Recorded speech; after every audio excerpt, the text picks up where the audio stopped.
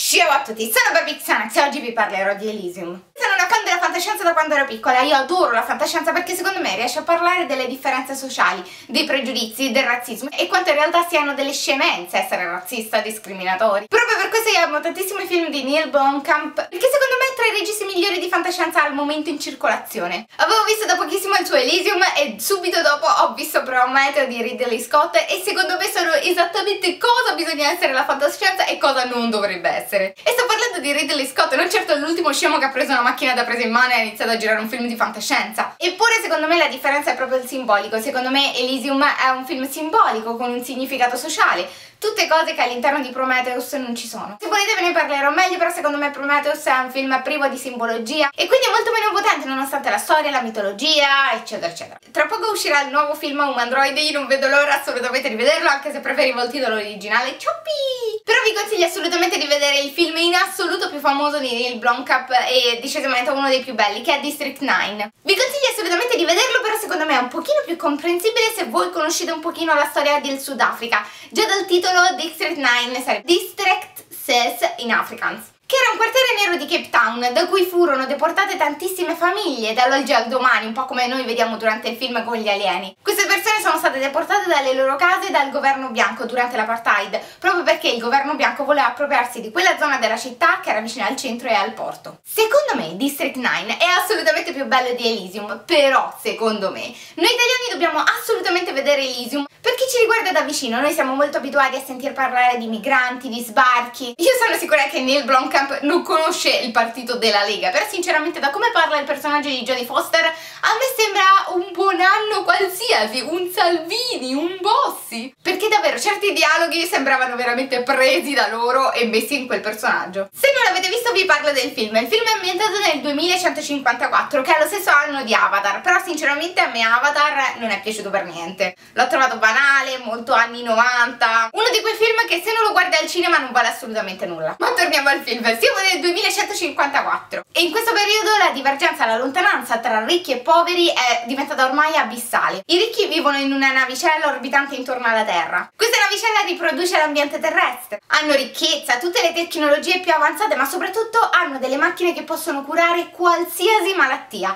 e sono a disposizione di tutti loro. Questo su una navicella, purtroppo sulla Terra invece sono rimasti solamente i più poveri, quindi è sovrappopolata, c'è un caos, c'è povertà, malnutrizione e tantissime malattie sono diventate incurabili. Sulla Terra ci sono tantissime persone disperate che tentano, nonostante la grandissima povertà, di mettere da parte i soldi per prendersi un biglietto ed imbarcarsi su una navicella a barcone per tentare di sbarcare su Elysium. Molti di loro lo fanno per tentare di curare le loro malattie, che lì sarebbero curabili, invece sulla Terra no, ma soprattutto per avere la possibilità di una salvezza. Purtroppo questa cosa è molto pericolosa, perché se queste navicelle e barconi vengono intercettate da Elysium, vengono bombardate, proprio per non minare la ricchezza dell'elite. Io vi direi, vi ricordo qualcosa di qualche politico, magari qualcuno che diceva di sparare sui barconi, perché a me sembra una cosa molto simile. La cosa che apprezzo della fantascienza è proprio questo, distanziarci da qualcosa di quotidiano e vedere l'essenza delle cose così come sono, ovvero in questo caso becere. Ma continuiamo a parlare del film. Il protagonista di questo film è Matt Damon. A me piace molto come attore. A quanto pare il regista aveva in mente un'altra persona per questo ruolo, prima di chiamare lui. E una tra queste è proprio Ninja, il cantante di The Antwoord, che è nel cast di Chappie, che io non vedo assolutamente l'ora di vedere. Lui è un grandissimo fan di District 9, del regista, ha un D9 tatuato all'interno del labbro. Il regista compare in una foto del videoclip di Babies on Fire. Ninja inoltre ha fatto diverse foto promozionali con il braccio alieno di District 9. Yolandi ha come soprannome su Instagram Pro, che sarebbe cross crostacei come erano soprannominati in senso dispregiativo gli alieni di District 9 molti dicono che questa sia una cazzata però in realtà non sembra così. Ci sono diverse cose che collegano il personaggio di Max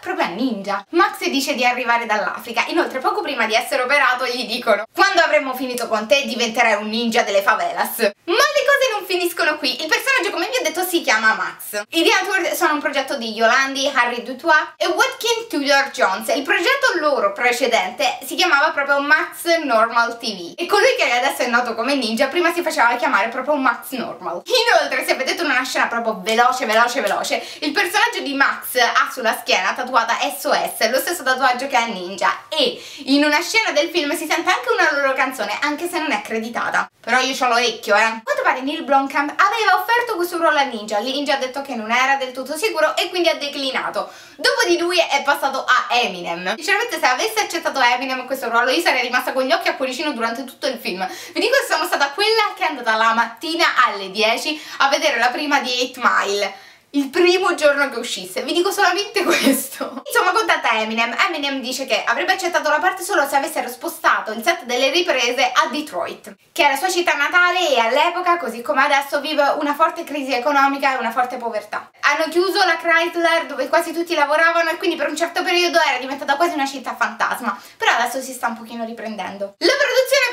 non accettato questa offerta e quindi hanno declinato e sono passati alla terza scelta che era Matt Damon. Matt Damon si è impegnato tantissimo addirittura ha lavorato 4 ore al giorno in allenamenti per avere il fisico giusto che voleva il regista. Come vi ho detto il film è ambientato nel futuro e quindi siamo in una Los Angeles futuristica in cui tutti parlano spagnolo perché ovviamente sono rimasti i più poveri e quindi i portoricani. La fantascienza ha sempre una certa radice di verità e negli Stati Uniti ci sono diversi problemi di razzismo e quindi in base alla tua etnia di provenienza ti vengono precluse molte cose purtroppo. Nel film vediamo delle case che sembrano le slum di Cape Town, delle case fatte in lamiera con al massimo una o due stanze dove vive un'intera famiglia senza luce elettrica, senza bagno. Vivono lì intere famiglie sperando di andare in una casa popolare. Secondo me la scena più importante di questo film che ricarica e incarna assolutamente tutto il significato del film e deve essere importantissima per noi soprattutto che siamo italiani è proprio quella iniziale in cui si vede un barcone di disperati, una navicella piena di persone malate che tentano di raggiungere Elysium sperando di curarsi, ma viene abbattuta dal personaggio di Jodie Foster proprio per non minare quella ricchezza che hanno in pochi, per non condividere nulla, per non perdere nulla, uccidono altre persone. Il personaggio di Jodie Foster inoltre per fare questa cosa si fa aiutare da un personaggio sotto copertura sulla Terra, Kruger. Questo bombarda dalla Terra la navicella e compare una sigla che è CCB, che sarebbe Civil Cooperation Bureau. E questo gruppo è esistito veramente. Durante l'apartheid